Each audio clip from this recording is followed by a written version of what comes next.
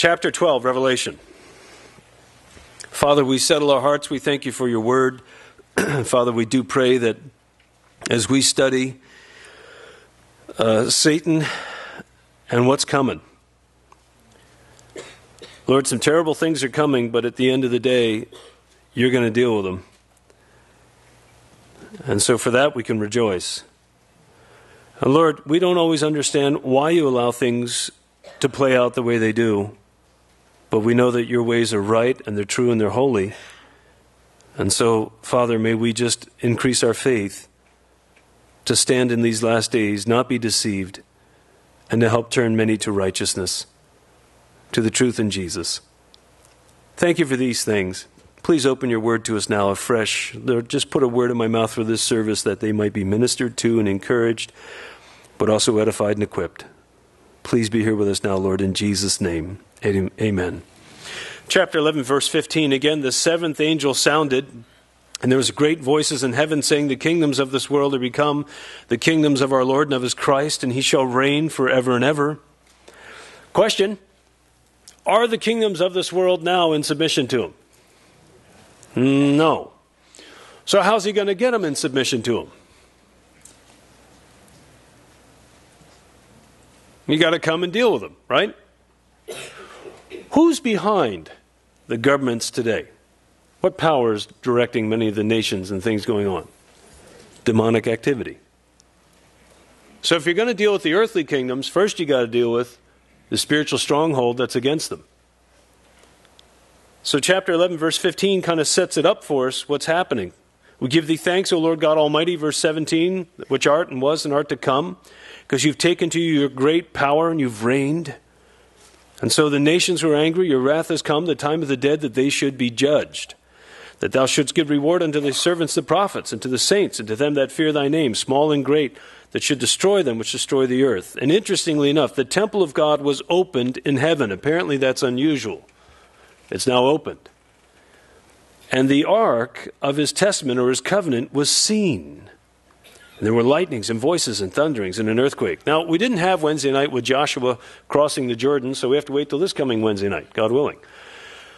But when God begins to take them into the promised land, when Israel comes in as God's rod of correction against the Jebusites, the Canaanites, the Hittites, the otherites, as he sends them in to deal with their moral failures and to bring his judgment against them, interestingly enough, just before he begins to bring them into his, his dominion, he reveals the Ark of the Covenant. Normally, when the tabernacle moves, if you were with us through Exodus and Leviticus and Numbers and all that in Deuteronomy, normally the priest would go in, grab the veil, cover the ark, then cover it with badger skins, then cover it with a blue cloth, so that the Kohathites would know this is the Ark of the Covenant, treat it carefully, and then they would come pick it up and they begin to transport the ark. It would be transported, covered, and different than any other piece of furniture with the blue cloth exposed. So they would know this is the ark, be careful. But when they cross the Jordan, God does something unusual. He allows Joshua and the armies to have the priests take the ark and to show it before all of them, as well as whatever lookouts Jericho had watching them cross over. So the ark is revealed as he goes in and begins to deal with and conquer those enemies in his judgment against their moral failures. Interestingly enough, we get into Revelation chapter 12 here, Verse 15, we've got the kingdoms of this earth become the kingdoms of our Lord. Chapter 11, verse 19 there, chapter 11, the ark is revealed. Chapter 12, war breaks out. And God begins to take conquest of these things. Very interesting, the parallel. So, chapter 12, and there appeared a great wonder in heaven a woman clothed with the sun and the moon under her feet, and upon her head was a crown of 12 stars. Who's this? What book do you need to understand verse 1 of chapter 12? A commentary on Revelation? No. What book of the Bible do you need to understand verse 1 of chapter 12? The book of Genesis. What do you mean? Joseph had a dream. First dream, he said to his brothers, Crazy thing happened. I had this dream. We're out binding sheaves, and my sheaf stood up, and all your sheaves came down and bowed to my sheaf and did obeisance. And it was just crazy. And I woke up, and they said, You're going to rule over us? I don't think so. And they hated him because of it. A little, little while longer, he prepared of God that they should. Interesting. This time, the 11 stars and the sun and the moon came down and bowed down to me. Just wonder what it means. They hated him. And Jacob said, We think as though Satan's going to overwhelm to bow down to you. So now take that dream from Genesis 37. There appeared a great wonder in heaven, a woman clothed with the sun and the moon under her feet, and upon her head a crown of 12 stars. What does it represent? Israel. Well, Pastor Chris, Pastor Chris, I've heard people say this represents Mary. It doesn't fit as we work through the chapter. You'll see why. It's Israel. And from Israel would come the tribe of Judah. From the tribe of Judah would come the family of David. From David would come the Messiah. She, being with child, cried, travailing in birth and pain to be delivered. And there appeared another wonder in heaven. Behold, a great red dragon, having seven horns, denoting power, dominion. Ten, or seven heads, sorry, dominion, power, intelligence. Ten horns, we'll speak of those ten kings with the Antichrist soon enough. We'll get into that. Rule, diversified. Seven crowns, speaking of rule or dominion, complete dominion. And this world has been under his dominion. He's the God of this age, it tells us in Corinthians. But his time is coming to an end. And his tail drew the third part of the stars of heaven, and did cast them to the earth. And the dragon stood before the woman which was ready to be delivered, for to devour her child as soon as it was born. So there's this, this vision of, of Israel and Satan seeking to attack it. Interestingly enough, in all this activity, his tail draws with him one third of the stars of heaven. We'll need that in a minute. Depart from you, workers of angels. Cast them to the earth, and he's ready to devour her child as soon as it was born. What defend this? Once again, Genesis chapter 3. And the Lord said to Eve and to the serpent, I will put enmity between thy seed and between the serpent and his seed. Israel will bring forth a man child. Behold, a virgin will be with child. We'll call his name Emmanuel, God with us. And Satan is going to bruise his heel where? On the cross. But the seed of the woman is going to crush his head. Death and resurrection of Christ has purchased us back from sin. Because he's redeemed the earth, and now he's going to claim it. And so he was seeking to devour her male child as soon as it was born. And there are many examples of Satan trying to do this in the past. Herod, for example, diligently inquired of the wise men Go and worship the king, and when you've worshipped him, come and bring me word that I may worship him also. The wise men were warned by the Lord to go home a different way. So Herod sent out his men and destroyed through all the territories of Bethlehem, two years old and younger, the small children. What was that? Satan trying to devour again that child. And she brought forth a man child who was to rule all nations with a rod of iron. That's Daniel chapter 7 that you need to understand who he is. That's the Son of Man who comes to the Ancient of Days and rules. And that word rule is shepherds. He shepherds all nations with a rod of iron, God's shepherd. And her child was caught up to God and to his throne the ascension of Christ. And the woman fled into the wilderness, where she hath a place prepared of God that they should feed her there a thousand two hundred and sixty days. How long's that? You guys are experts now, aren't you? How many months? 42. Once again, please notice the dragon will come down in verse 14 and begin to persecute, verse 13 and 14, the woman. It's not Mary, it's Israel. Satan has been trying to attack Israel for a long time. But from Israel will come, as Jesus said to the woman at the well, salvation is of the Jews. Through Judah, through the line of David, will come the Messiah. And so the woman fled. Interesting, that word is pheugo, to flee, to run away into the wilderness. Remember when Jesus said in Matthew 24 15, When you see the abomination of desolation stand in the holy place, as spoken of by Daniel the prophet, let the reader understand. What did he say you should do next? Flee, same word, pheugo. Flee. Don't go down from the roof into the house. Get out of town. Don't go back from the field into town. Get out of town. Interesting, Luke 21, he said the same thing. When you see these things, flee, pheugo. Get out of town. And so, this rise of the Antichrist, this battle that's coming, the woman fled into the wilderness, where she has a place, note this, prepared of God that they should feed her there three and a half years. There's a place for her to hide. And there was war in heaven. Why? Because the kingdoms of this earth have become the kingdoms of our God and his Christ. So, where do you got to start? Satan's power. There was war in heaven. By the way, interesting question. I wonder how much of this we see. Are we like, get him?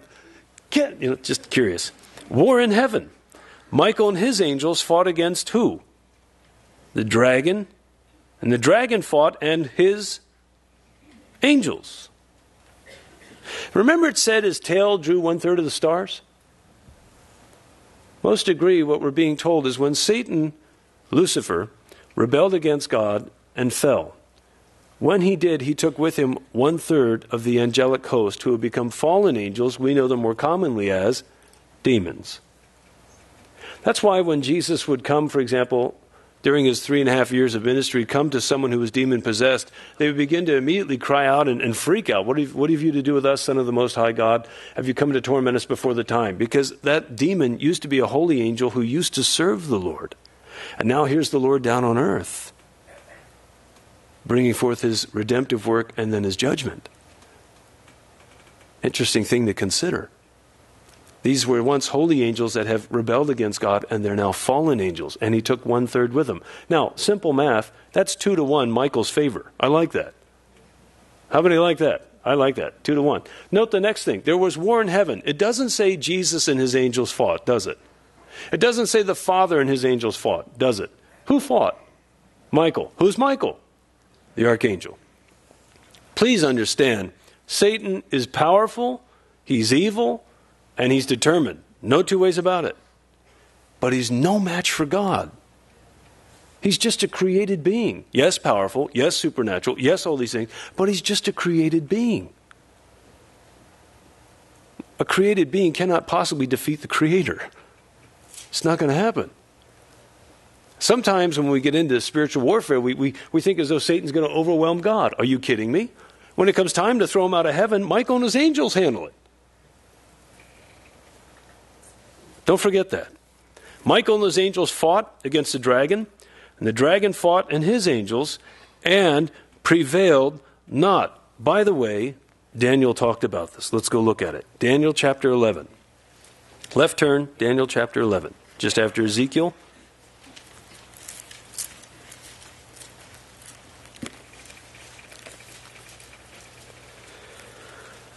Chapter 11, from verse 1 through 35 there are 135 prophetic statements, history in advance, made by Daniel, covering a 400 plus year period that were 100% fulfilled.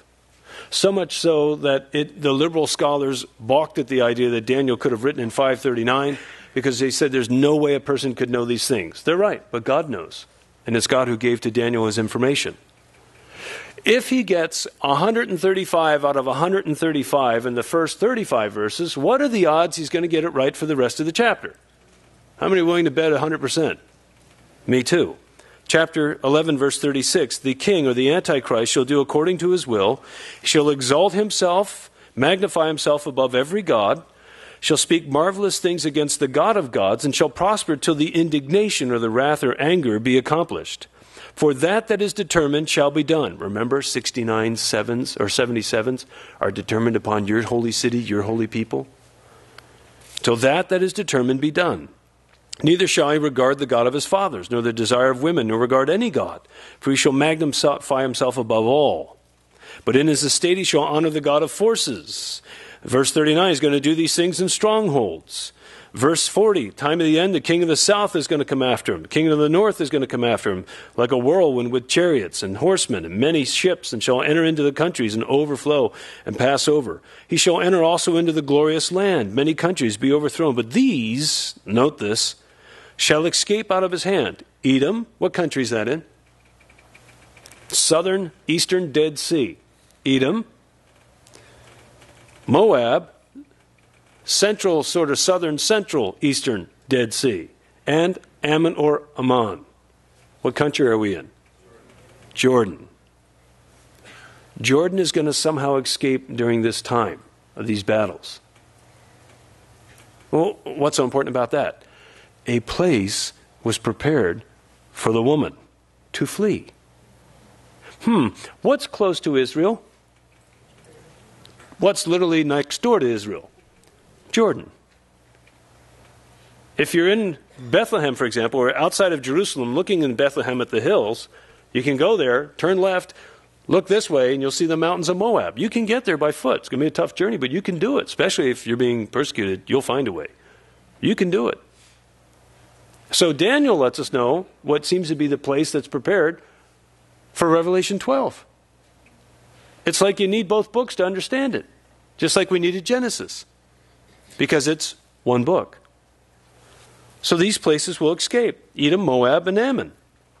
He shall stretch forth his hand upon the countries. The land of Egypt shall not escape, so don't go south. Just a hint. He shall have power over the treasures of gold and silver, all the precious things of Egypt, and the Libyans, the Ethiopians shall be at his steps. But tidings of the east, remember that 200 million man army? Tidings of the east and of the north will trouble him. Therefore shall he go forth with great fury to destroy and utterly make away. He shall plant the tabernacle of his palace between the seas and the glorious holy mountain. Yet he shall come to his end, none shall help him. Note this At that time shall Michael stand up. There was war in heaven. Chapter 12 of Daniel overlays chapter 12 of Revelation. The great prince which standeth for the children of thy people, Israel, and there shall be a time of trouble, I'll say, such as never was since there was a nation. Jesus called it great tribulation. Even the same, or at that same time, thy people, Israel, shall be delivered. Every one that shall be found written in the book. How do you get in the book?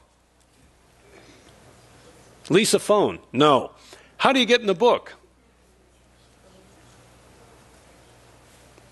A buzz among the sheep. You mean if somebody stops you in the street and says, Hey, I've heard about this book of life. How do I get in the book? You can't help them? How do we get our names written in the book of life? We receive Jesus as our Savior by faith. Remember when the disciples came back, he said, Don't rejoice that the demons were made subject to you. Rejoice rather in this, that your names are written in heaven. Why are their names written in heaven? Because they've received Jesus. We get into the book of life by accepting Jesus Christ is our Savior by faith, not by works. We don't get in the book by a 12 mile pilgrimage on our knees. We don't get in the book by giving money or attending church. We get in the book of life because we've received the author of life, Jesus Himself, by faith, as our Savior. Well, that's easy. Well, then why isn't everybody in the book? Because to get into the book of life, you have to confess you're a sinner. You have to agree with God that you're not righteous. Not only that, but you need to repent of what you're doing, turn away from it, and embrace His Son. Well, I don't want to do that. Well, then you don't want to be in the book. Well, that's not fair. It's your choice. It's very easy, but yet sometimes very difficult. But note this every one that shall be found written in the book, listen to this many of them that sleep or die in the dust of the earth shall awake, some to everlasting life. Why do they get everlasting life? Because they're written in the book of life. Some to everlasting shame and contempt. Why do they get everlasting shame and contempt? Because Revelation chapter 20 tells us the dead stand before God at the great white throne. The books are opened of what they've done. They consult the books and then they consult the book of life. And any man not found in the book of life is cast into the lake of fire. This is the second death everlasting shame and contempt. Every one of us is getting resurrected. Whether you believe whether you're a believer or an unbeliever, all will be resurrected. All will be brought before God. For those of us who bowed our knee now and confessed with our tongue that Jesus is the Messiah and received him by faith, for us it's unto eternal life. For those who've rejected Jesus Christ, they're going to be judged by what they've done, and then they're going to be forced to confess he's Lord, but it's going to be to their own condemnation that they rejected him. And yet it was so simple. Please review here with me for a minute. Which one sounds better? A resurrection to everlasting life or a resurrection to everlasting shame and contempt? Which one's better? So then why not choose it? Just what is so good on this earth that would keep you from everlasting life? Well, they that be wise shall shine as the brightness of the firmament They that turn many to righteousness as the stars forever and ever. But you, Daniel, shut up the words and seal the book. It was too early. Seal it until the time of the end. How will I know it's the time of the end? Many will travel to and fro. Uh, that's here. Knowledge shall be greatly increased. Yes, it has. Look at our technology. By the way, these things, verse 7, will be for a time, times, and half a time. How long is that? Three and a half years. Back to our text. So they prevailed not, neither was there found place any more for the devil and his angels in heaven. And all God's people said, Yippee! And amen. About stinking time. And the great dragon was cast out, that old serpent from the garden, which is called the devil and Satan, which deceiveth the whole world. He was cast out into the earth, and his angels were cast out with him. Take your buddies with you. Yes, Pastor Chris, why would a loving God create such a wicked devil? What's the answer to that one? You're going to get these questions in the street, I'm telling you. Well, if you say you believe in a God of love, why did he create the devil? Did he? Okay, let's prove it. Let's go to Ezekiel 28, left turn. Ezekiel 28. You get asked these questions, you know it. Well, if God's so lovely and holy, then what's with this devil? Okay, here's your answer. Chapter 28, verse 12. Son of man, take up a lamentation upon the king of Tyrus. Well, this is about the king of Tyrus. Keep reading. Say unto him, Thus saith the Lord God, Thou sealest up, or you're complete, sealest up the sum, full of wisdom and perfect in beauty. You were complete. Thou hast been in Eden, the garden of God. Could the king of Tyrus have been in the garden of Eden? No way. This is long after the flood, and the flood destroyed it. So we're not talking about an earthly king. We're talking about the power behind that earthly king of Tyrus, or the prince of Tyrus, and that is Satan. He's addressing the demonic power behind it. You were in Eden, the garden, and you'll see, calls him a cherub too. No human being is a cherub, that's angelic. You were in Eden, the garden of God. Every precious stone was your covering sardius, topaz, diamond, beryl, onyx, jasper, sapphire, emerald, carbuncle, gold. The workmanship of thy tabrets and of thy pipes was prepared in thee in the day that thou wast created. Somehow his ministry involved music, pipes and tabrets. Some argue he was involved in the worship of God with the host of heaven. We don't know for sure. What's real clear is since Lucifer fell and became Satan, he most definitely uses music to bring preaching and praise to himself. For example, Rolling Stones, Sympathy of the Devil. Van Halen, Running with the Devil. I know I'm dating myself. Supertramp, Goodbye Stranger. They said the devil is their savior and they don't pay no heed. He's got evangelistic messages throughout the music that he inspires. Why? Because he knows it's a very powerful tool. There's a lot more modern stuff that gets into it quite a bit, but I'm out of that loop. What gets me is, you know, you hear people listen to classic rock. For me, it's like classic trash. Same stuff, different day. You know, it's been like classic rock from the 60s, 70s, now 80s, now 90s. Like, hello, there's the, and yet you have the body of Christ. You got great new stuff coming out all the time, praising God, new beat, new rhythm, fresh stuff. And, and your buddies in the unsaved world are still in the same dead rut. Anyway, all things are new in Christ. Pipes and timbrels. You were the anointed cherub. You were created perfect the day you were created. You were the anointed cherub, verse 14, that covers, and I have set you so. You were upon the holy mountain of God. You've walked up and down in the midst of the stones of fire. You were perfect in your ways from the day that you were created, and He's only created until iniquity was found in you. So, did God create a wicked devil? What did He create? A holy angel named Lucifer, who was a cherub. What happened to him? By the multitude of thy merchandise you have filled the midst of you with violence, and you've sinned. Therefore I will cast you out as profane out of the mountain of God, God's holy mountain. I will destroy you, O covering cherub, from the midst of the stones of the fire. Your heart was lifted up. Here's the root of the problem pride because of your beauty. You've corrupted your wisdom by reason of your brightness. So I will cast you to the ground, and I will lay you before kings, that they may behold you. You have defiled your sanctuaries by the multitude of your trafficking, what you've done, your iniquities, of your traffic.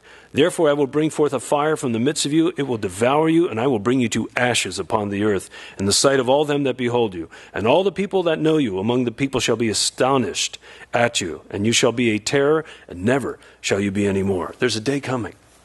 Well, just what happened with Lucifer? You don't have to go there. I'll read it to you. Isaiah 14. Ezekiel 28, Isaiah 14. Pretty easy to memorize, isn't it? So we need to go fall, fall back later and look at it. There were five things that Lucifer had said. How are you fallen from heaven, O Lucifer, son of the morning, who was created perfect? How are you cut down to the ground, which did weaken the nations? For you have said in your heart, I will ascend into heaven. I will exalt my throne above the stars or the angel, uh, angels of God. I will be over them. I will sit upon the mount of the congregation, again, the mountain of God in the sides of the north. I will ascend above the heights of the cloud, most argue the Shekinah glory of God. I will be above God's glory. I will be like the Most High. How many the Most Highs can you have? One. Whose job does he want? God's. So apparently, perhaps in leading the host of heaven to worship God, he began to feel that he was the one that deserved it. And so he fell. So back to our chapter. Now is the enemy cast out, that great dragon, the old serpent, the devil, Satan, which deceives the whole world. He was cast out into the earth, and his angels were cast out with him. And I heard a loud voice saying in heaven, Now is come salvation, verse 10, and strength, and the kingdom of our God, and the power of his Christ. For the accuser of our brethren is cast down, which accused him before our God day and night. Job chapter 1. Sons of God, angels, appeared before the Lord, and Satan was among them. And God said to Satan, Say, where you been? Oh, I've been traveling to and fro through the earth. And God said, Have you considered my servant Job? He's an upright man, hates evil, loves God. And Satan said, Does he serve you for nothing? It's because you've blessed him so much and you put a hedge about him. But you touch his stuff and you touch all that he has, and he'll curse you to your face. And God said, Okay, you can touch his stuff, but you can't lay a finger on him. And Satan went out and destroyed virtually all that Job had. And Job said, Naked came I into the world, naked will I leave, blessed be the Lord. And all these things Job didn't sin. And it came to pass a little further along, chapter 2 of Job. Sons of God again appeared before the Lord, and Satan was among them. And the Lord said to Satan, Hey, have you considered my servant Job? He's still just and upright, a man who hates evil and loves God, and, uh, and stands in his righteousness, though you moved me against him. And Satan said, Skin for skin. All that a man has, he'll give to keep his life. But if you touch his body, you touch him, he'll curse you to his face. And God said, Okay, you can touch him, very interesting, but you cannot kill him. And he went out and afflicted Job horribly. Read through the book. By the end of it, you understand, why a very difficult trial, at the end of it, Job came to a much deeper understanding of who God is. And would eventually say, I put my hand on my mouth, no further questions. Zechariah chapter 3. There, the high priest, Joshua, is before the Lord and the angel of the Lord, and Satan is there accusing him. And Joshua is in garments that are defiled. And so there the Lord said, Take away these garments, put on him holy garments, a fresh mitre. You know, in other words, restore him and redeem him, clothe him. Satan was there accusing constantly before God. Simon, Simon, Satan has desired to sift you as wheat, but I've prayed for you. Could you imagine if your name came up? Satan's after you? Oh, don't freak me out. Wait a minute. Well, what are the parameters? Nothing is allowed to happen to you from the, for the fallen realm but what God will allow. Now, is God the cause of it? No. Will God allow it? Sometimes He does, like when David numbered the people. But what ended up happening? Found the location for the temple. These are things I don't fully understand. But I know who's behind them. I know the Lord is holy, He's right, and what is intended for evil, God will use for good.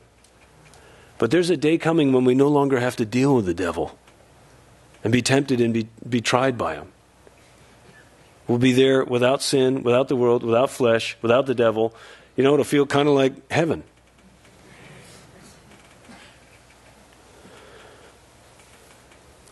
The accuser of our brethren has been cast down before our God day and night. Interestingly enough, by the way, in Zechariah, he said, And I'm going to set up my servant, the branch, the stone upon whom has seven eyes, omniscience, and he will remove the sins from the people in one day.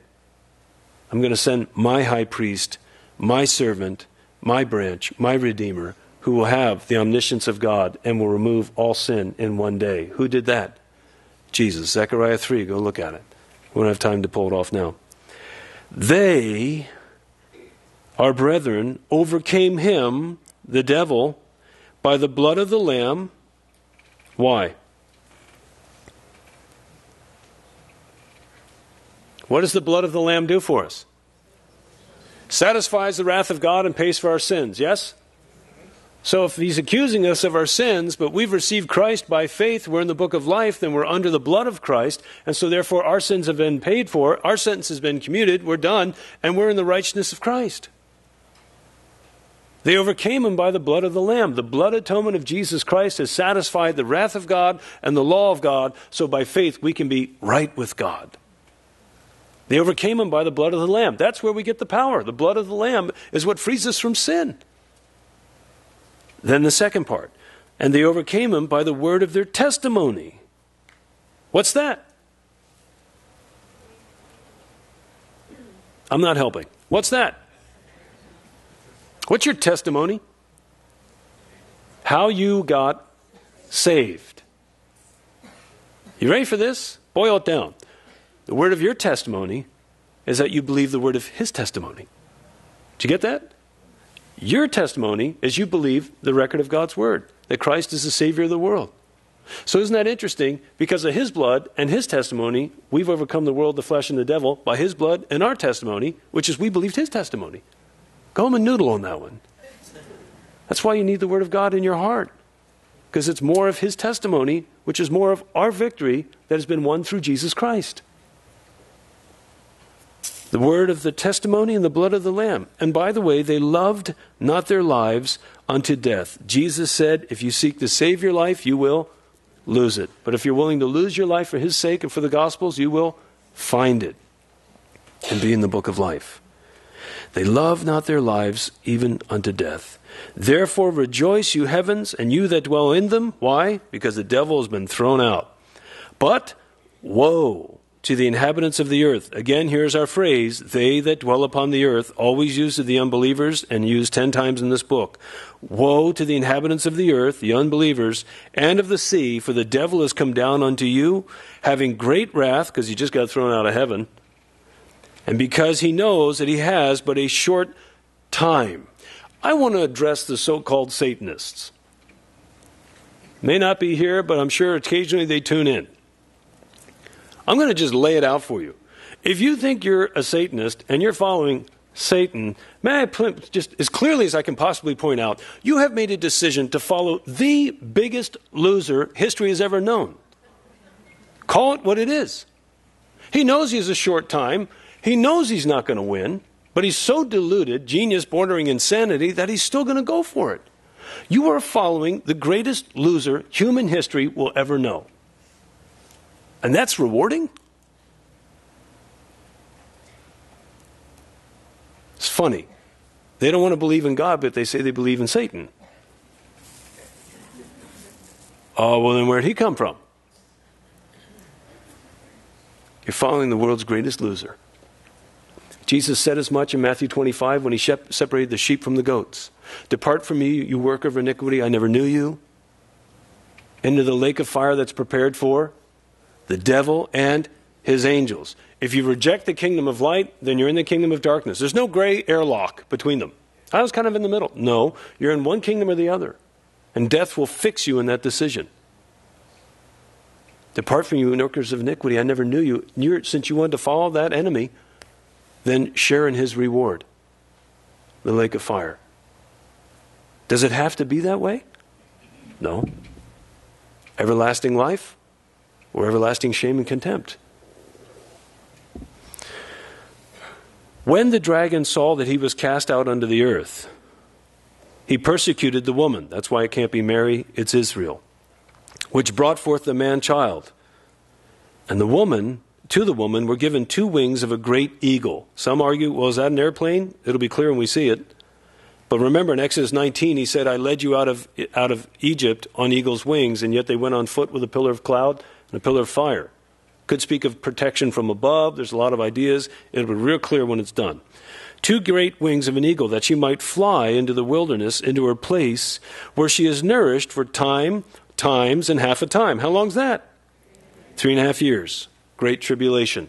Gee, where does she flee? Territory of Jordan. What stronghold is in southern Jordan, the land of Edom, that might be a good place to go? A city called Petra, or known as Selah today.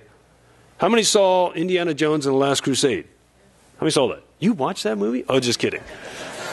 you know when they rode into the place that was supposed to have the Holy Grail? They went through the, on the horses through those caverns. That's Petra. And that long that cavern is is a very long one, very interesting, very high cliffs. It's amazing, very easy to defend, unless of course you just drop a bomb in the middle of the place. But very easy to defend. There were tales in the 70s and early 80s of Christian businessmen who had studied these prophecies, who had put stores of supplies of food in that city for the Jews who would be fleeing there. I don't know if they're still there, and I can't verify it. If you've got firsthand knowledge on that one, let me know. But this is an area that would be easy to hide in and relatively easy to defend, at least from a land assault, for the Jews. And it's right in the territory of Edom or Jordan, the city of Petra. So she has a place prepared where she flees. Again, this will all be clear when it's done, but she's there three and a half years. She hides from the face of the serpent. And as she flees, verse 15, the serpent cast out of his mouth water as a flood, as a wings of an eagle, as a flood. Could be water. What else could come after you like a flood? An army. So if it's literal water, It'd be very easy. Note what happens. And the earth opened her mouth and swallowed up the flood. Why? The serpent cast out of his mouth flood as of water after the woman, that he might cause her to be carried away of the flood. The earth helped the woman, and the earth opened her mouth and swallowed up the flood, which the dragon cast out out of his mouth. It could be a flood of water, and it's soaked up, sinkholes, whatever, which are pretty fascinating. Or it could be the earth opens up and swallows an army. Oh, Pastor Chris, come on, really? You really think the earth would open up and swallow human beings? Well, do we have a precedent? Where? Korah's rebellion. Korah and Dathan and others rebel against Moses and Aaron. And so Moses said, okay, let's find out who's really in charge. If I'm in charge, then how about God does something different? The ground opens up and swallows all you people alive down to the pit. What happened? Exactly that. So, whatever it is, it's going to help protect the woman, Israel, as they flee. This part of the remnant. And the dragon was wroth with the woman out of his reach, and so went to make war with the remnant of her seed, the remainder of Jews, which keep the commandments of God and have the testimony of Jesus Christ. Chapter 12, again, is parenthetical. What do you mean? It's a pause from the action that we've been working through. We had that when we got into chapter 10, into chapter 11 up to verse 15, where we had these trumpets being blown, and then we stopped to just give some more information, chapter 10, chapter 11, the two witnesses and all that. Then verse 15 of 11 picked up again the seventh trumpet. We began to move forward. But then chapter 12, 13, and 14 are again parenthetical. What do you mean? The kingdoms of this world are now become the kingdoms of our Christ. So the author here, John, is telling us about those kingdoms. Number one, it's all based behind satanic power. Number two, in the last days, he's going to consolidate his power, next week's chapter, if we're here, in the Antichrist and the false prophet. These individuals are going to be used to deceive the nations and bring them under satanic control. In the time of that control, as it's being exerted upon this world, God is going to again warn people by sending an angel with the everlasting gospel through the heavens, chapter 14. Once these things have been laid out about this is the subplot of happening, this is how this kingdom got established, here's how he's going to try and go for it in the last days, then we again pick up chapter 15 and 16, our progression, where God again gathers them to Armageddon. So he's basically letting us know here's how we got in this mess. And this is the mess that Jesus is going to finally destroy. But we'll have to pick it up next week because we're out of time. Let's stand. Let's pray. Father God, we thank you for your word. Lord, thank you for the warning of what's coming ahead of us. Israel's back in the land. Isaiah chapter 66 Can a nation be born in a day? It was.